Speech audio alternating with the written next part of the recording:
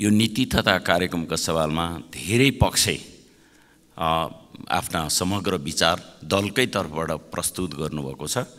त्यसलाई म पूर्ण समर्थन गर्दै म आफ्ना केही सुझावहरूलाई यहाँ राख्न चाहन्छु।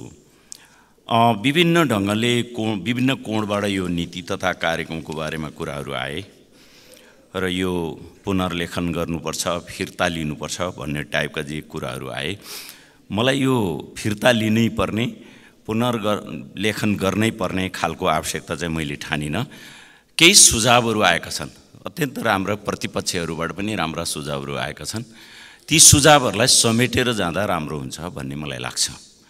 र विशेष गरी अहिले मैले देखिरहेको छु यो सत्तरी पेज लामो एक सय अठासी बुँदामा समेटिएको नीति तथा कार्यक्रमका सबै बुँदामा छलफल गर्न सम्भव छैन।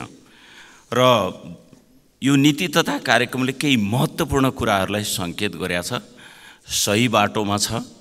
यद्यपि हामी अहिले अत्यन्त जटिल अवस्थामा छौँ देशको सङ्कटापन्न अर्थतन्त्रको अवस्था छ निष्क्रिय र भ्रष्ट प्रशासन छ। यी कुराहरूमा सुधार ल्याउन नसकेको खण्डमा हाम्रो यो नीति तथा कार्यक्रमका यी विचार जति राम्रा भए पनि यसले केही गर्न सक्दैन।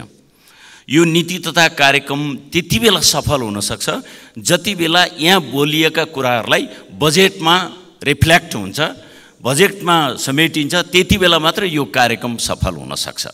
यहाँ चाहिँ प्राथमिकताका साथ काम गरिनेछ भनेर भन्ने बजेटमा एक रुपियाँ पनि नराख्ने हो भने यसको केही अर्थै हुँदैन। सामान राम्रो छ ढुक्क हुनुहोस्। थाहा छ थाहा छ त्यसैले त यही लिन आएको गुणस्तरीय प्लम्बिङको भरपर्दो नाम मार्बल